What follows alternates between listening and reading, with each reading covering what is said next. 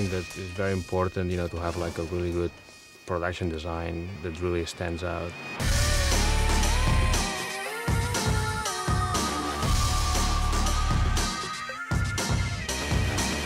We hired Grace Walker, our production designer, and he had done um, both Gothika and Ghost Ship for us, and he's wildly talented. He's just a wonderful guy, great production designer, has a great sense of the look of these movies and really helps us get to where we, we need to be. One of the most spectacular things that we did with this movie, because we'd built incredible sets before. We built a whole ship for Ghost Ship. We built the interior of the Institute in Gothika. But this one, we built a whole town. You know, as Joel said, if it's just going to be a normal looking town, we could have done this on a back lot someplace. How many times do you build a town for a movie? Let's do something different. Let's do something unusual. He wanted something a bit more unique, something that's, you know, has a bit more style to it. In, in a movie of this sort, you know, you usually shoot them on a back lot of a studio, and those towns always look kind of the same, like Midwestern towns that have a main street that just feel like you've seen them before. Joel started referencing certain places and photos and things, which Grace then went and looked at and came back and said, how about this? There was a city that I remember I'd seen pictures of called Asmara. It was an Italian city in Ethiopia that was built in the 30s. It was built by the Italians prior to World War II, and they were the colonists there and built this sort of uh, modern rather than deco. We kind of took elements of that to give the style kind of a sleepy, lost American town. I thought it was a great idea, so I ran with it.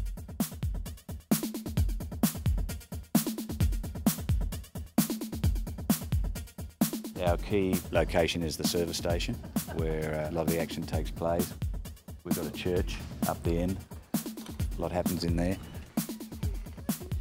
Of course, there's the House of Wax, which is up around the corner, and the Sinclair House.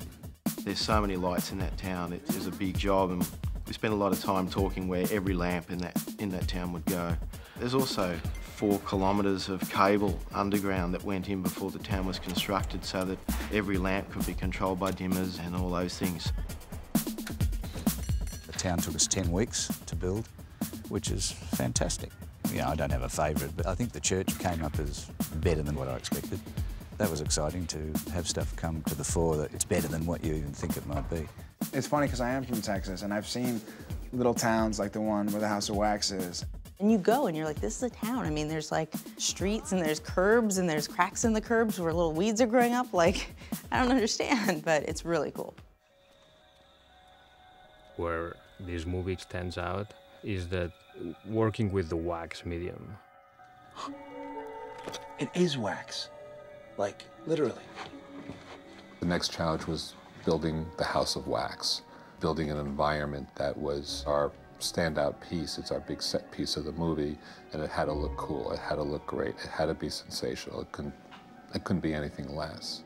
We were asked to do like a whole house made out of wax. It was huge. I pictured a house, like something house size, and this is far more a blend between like um, a museum and a house, like a very stately house. A lot of it's thin layers, and then there's a lot that's solid wax that we've moulded into objects. Uh, we've taken moulds off things like furniture and that, and uh, poured in wax into the moulds so they're solid wax. I was very excited in working on this movie because I personally love wax and candles, and we really got to do a lot of great stuff with it.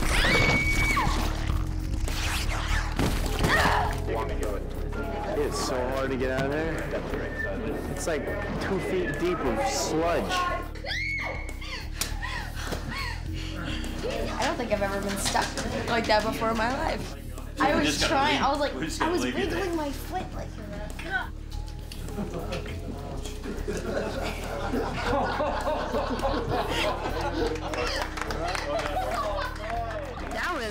unlike anything I've ever done before in my entire life.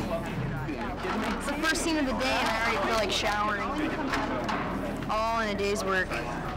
In terms of a physical challenge for the movie, the whole wax of it all is something that was, you know, very complicated.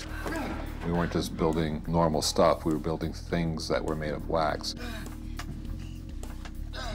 There was no other substance that could really replicate the wax other than wax.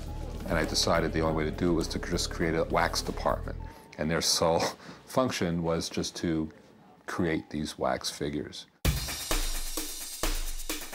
We had a big job. I mean, the movie is full of people. They're all wax, everyone. There's a movie theater, there's a church, there's stores, shopping. I mean, it's, it's all over the movie. And sometimes they actually created, you know, three-dimensional wax figures. Sometimes they actually took people and kind of had wax masks made. I mean, it's really complicated. We're taking life casts of, of different actors and, and um, extras that the directors approved, of bodies and heads, and then we turn their heads into silicon heads, airbrush them up to look real but slightly dead looking, and then the eyes go in and the teeth and all the hair punching and all the art finish that, that makes them look fantastic. And then clothes go on and uh, they go into, into position. The wax people, the, the craftsmen that worked on it and they made the wax figures and Grace building the sets and all of the little figures that they did in wax and it was just amazing. It was fantastic. The talent is remarkable. I haven't seen anything like it. I wonder how many teeth you have to have to win that one. It just all worked. The way it was laid out, we were able to come up with a design where we were able to actually work very fast and efficient. You know, if we tried to do this in a real town, we couldn't have done it. Just controlling people and dealing with shop owners and loss of business and things like that. So by being in our own environment, all that was removed. I mean, it was a field before we got there, which I think is incredible. You've never seen anything like this before. Everybody had to kind of learn to, to, to live with the wax, to work with the wax. It was complex, but we were able to make it look what it had to look like. And that's the challenge, and I think we've pulled it off, so that was great.